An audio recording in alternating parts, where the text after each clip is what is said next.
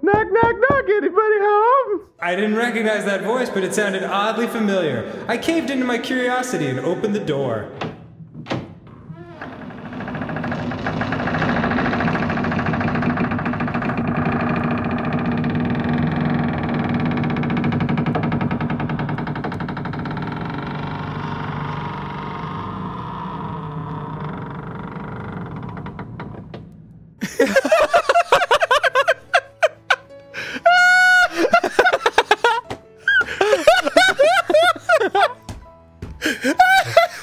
My fucking god.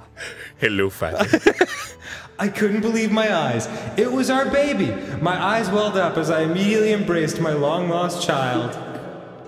Is it is it really you?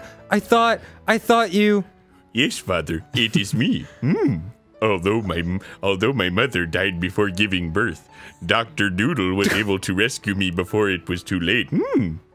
They thought it would be best if they didn't say anything, given what you had gone through. You know, murdering your wife and all. I can't believe it. It's okay, father. I'm here now.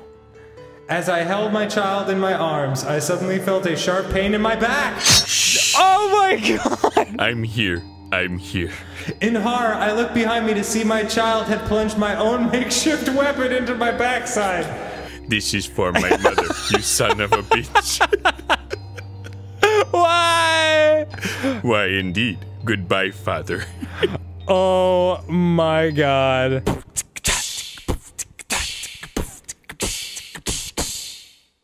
Doodle date! Doodle date! Hmm.